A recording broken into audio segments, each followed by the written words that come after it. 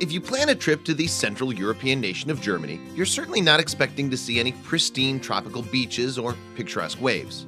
You'd have to visit a locale closer to the equator if you're seeking that kind of vacation.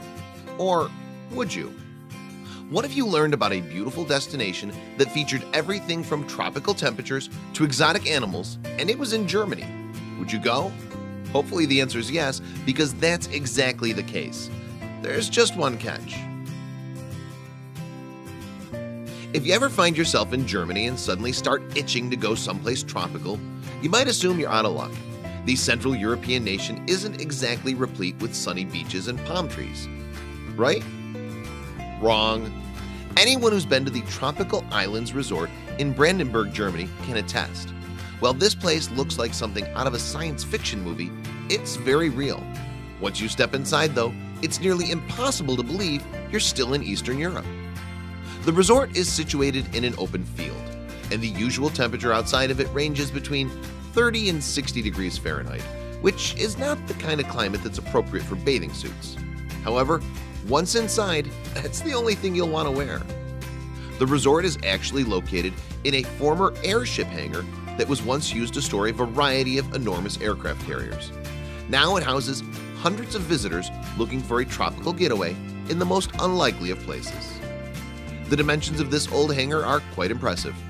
Once named the Aerium, the room is a whopping 1,200 feet long, 700 feet wide, and 350 feet high. With space like that, you can just imagine the size of the planes it used to carry. The hangar was purchased by a Malaysian corporation in 2003, and it's now dedicated to bringing an entire tropical experience to Northern Europe, from the temperatures to the wildlife. Believe it or not, the resort even houses flamingos. Where else in Germany are you going to find a place where you can sit on a sandy beach and watch a group of exotic flamingos hang out nearby? The answer is nowhere, of course. In fact, it's home to the largest indoor rainforest in the world. It's amazing to think that you no longer need to plan a vacation to a tropical island in order to see everything the rainforests have to offer. The internal temperature stays at a cozy 78 degrees, the company that runs the resort doesn't want people to suffer in sweltering heat, but they also want to make sure it's warm enough so guests can take advantage of all the great swimming and feel as if they're playing inside an actual rainforest, of course.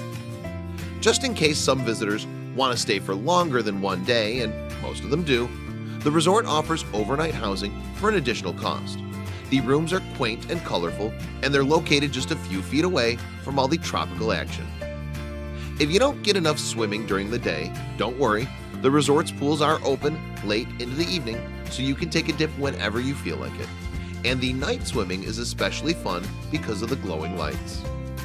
There are plenty tropically themed bars and restaurants scattered throughout the hangar as well. Each one has its own special menu full of cocktails and food. The best part? They're all open late. So after you spend the day on the sand, you can party well into the evening. The overnight housing is arranged to look like a cozy tropical village that surrounds the swimming area. Guests can stay for as long as they like. It's hard to visit and only stay for one day. The tropical life is simply too awe-inspiring. In case you're wondering if there's a designated area for young children, you'll be happy to know that there is. This area boasts a huge pirate ship, a jungle gym, a racetrack with carts, and a shallow pool so the kiddies can splash around safely. The pools are designed in such a way that they almost resemble the lazy river rides at traditional water parks. The depths vary and guests can make their way from one pool to another quite easily. The whole thing is so big, it never feels like it's too crowded either.